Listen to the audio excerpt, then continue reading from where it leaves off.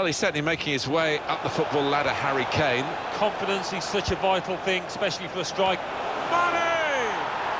And yet again, Mane is the main man for his side.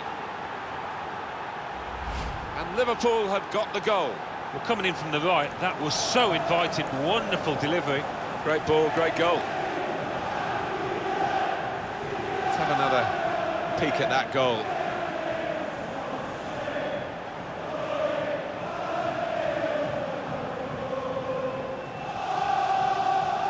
Well, I know this manager's been working hard on the training ground on a certain shape, and boy, is it getting results out there.